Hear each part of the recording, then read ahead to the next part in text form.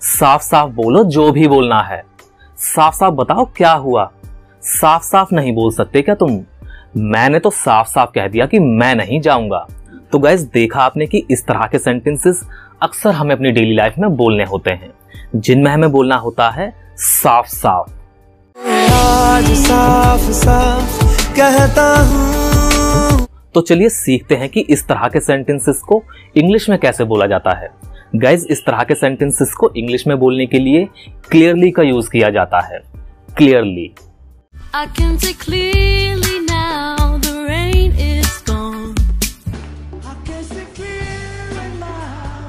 Clearly एक adverb है जिसका मतलब होता है स्पष्ट रूप से या फिर साफ़ साफ़ साफ़ साफ़ क्यों नहीं कहते कि हमसे इश्क करते हो?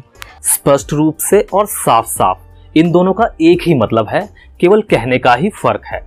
चलिए इसको यूज़ करने के रूल को समझते हैं। इसके रूल के लिए सबसे पहले आप बोलेंगे अपना कंप्लीट सेंटेंस, जो भी आपको बोलना है। सेंटेंस आपका किसी भी टेंस में हो सकता है। ये इस बात पर डिपेंड करता है कि आपको क्या बोलना है। सेंटेंस के ठीक बाद लास्ट में आप बोलेंगे क्लियरली। आप क्लियरली को सेंटेंस के बीच में ही वर्ब से ठीक पहले भी बोल सकते हैं, वो भी बिल्कुल सही है।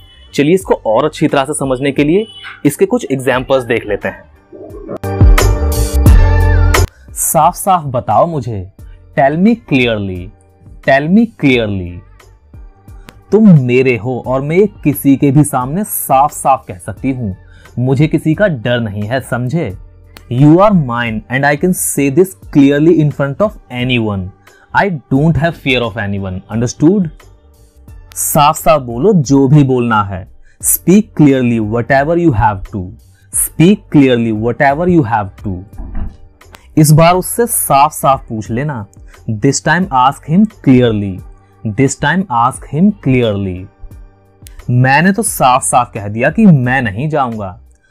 Clearly that I would not go यहाँ पर पास्ट की बात चल रही है, इसलिए विल की पास्ट फॉर्म वुड का यूज़ किया गया है। अब मैं साफ़ साफ़ कह सकता हूँ कि तुम्हें भी ये फॉर्म भरना चाहिए। Now I can say clearly that you should also fill this form now I can say clearly that you should also fill this form साफ़ साफ़ नहीं बोल सकते क्या तुम? Can't you speak clearly can't you speak clearly अगली बार तुम्हें साफ़ साफ़ बोलना पड़ेगा।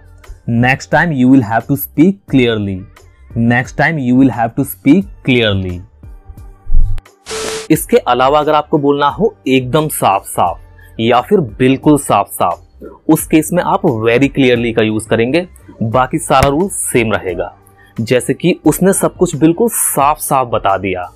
He told everything very clearly मैंने उससे बिल्कुल साफ़ साफ़ कह दिया। आई से टू हिम वेरी क्लियरली इस बार उससे बिल्कुल साफ़ साफ़ पूछ लेना सब कुछ। This time ask him everything very clearly so guys हमेशा की तरह एक सेंटेंस आप सभी के लिए। आप सब कुछ बिल्कुल साफ़ साफ़ पढ़ाते हैं। आपको इस सेंटेंस इंग्लिश में ट्रांसलेट करना है और हमेशा की तरह कमेंट में लिखना है। देखते हैं कितने लोग सही ट्रांसलेट करते हैं। Best of luck so guys आज की इस वीडियो में बस इतना ही। आई होप कि आपको वीडियो पसंद आया होगा और आपको स्ट्रक्चर का यूज़ अच्छे से समझ में भी आया होगा। अगर आपको कोई भी कोई भी डाउट हो तो आप कमेंट करके पूछ सकते हैं। तो मिलते हैं अगली वीडियो में एक नए लेसन के साथ। Till then take care